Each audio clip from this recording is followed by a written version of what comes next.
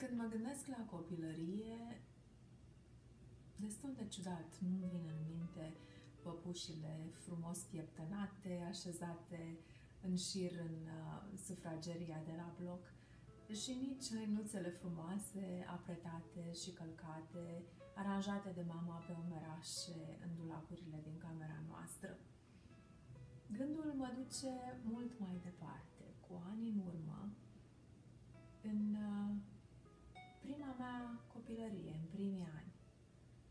Și cred că mulți dintre noi ne-am întrebat care este prima amintire din viața noastră. Care este momentul acela în care am început să trăim, să cunoaștem lumea, în care ni s-au deschis ochii și după care am pășit în viață.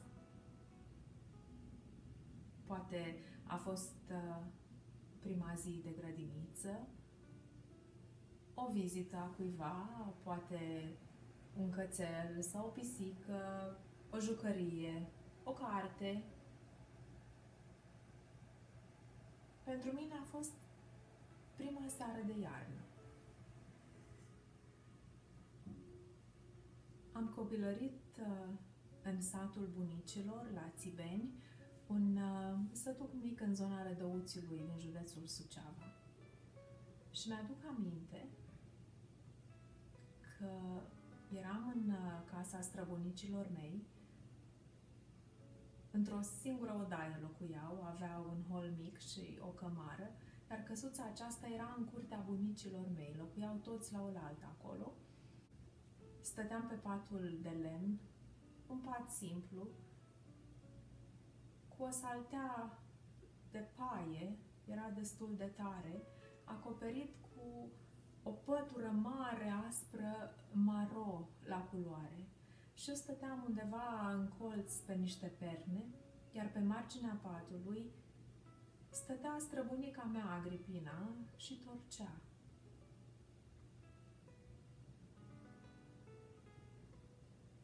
Mi-aduc aminte liniștea aceea.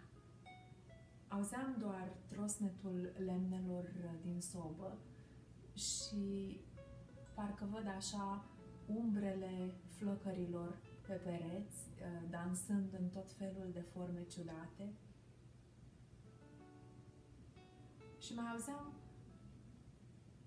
zgomotul acela al torsului și fusul care se învârtea. Nu vorbea nimeni, era, era liniște.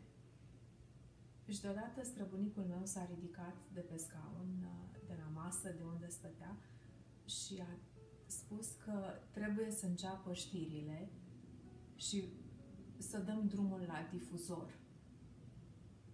Difuzorul era un strămoș al radioului, cred eu. Uh, era o cutie mare, pătrată, de culoare verde, uh, spălăcită, așa, agățată undeva într-un colț în uh, odaia aceea micuță.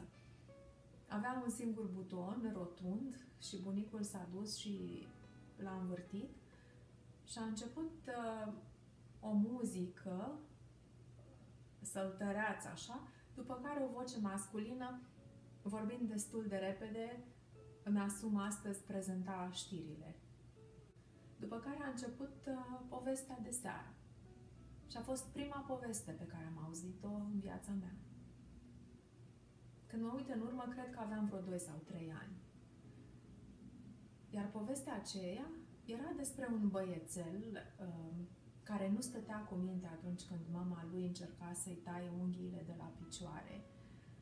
Se mișca mereu și se temea, plângea, iar mama lui i-a spus așa, dacă nu stai cu minte, știi ce o să se întâmple? Unghiile tale o să crească atât de mari încât picioarele nu o să-ți mai încapă în pantofi și atunci o să trebuiască să te trimitem la școală încălțat cu cutiile de la pantofi, pentru că nu o să poți să porți încălțămintea.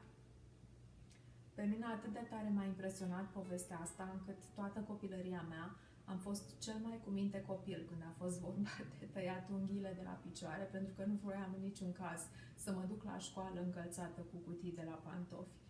Și uh, aceasta a fost prima amintire